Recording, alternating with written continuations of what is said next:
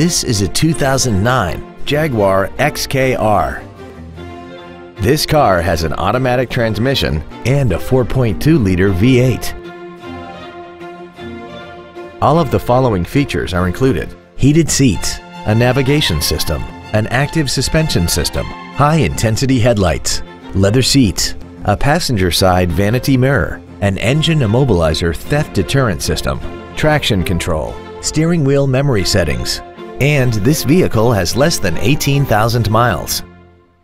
This Jaguar has had only one owner and it qualifies for the Carfax buyback guarantee. Call now to find out how you can own this breathtaking automobile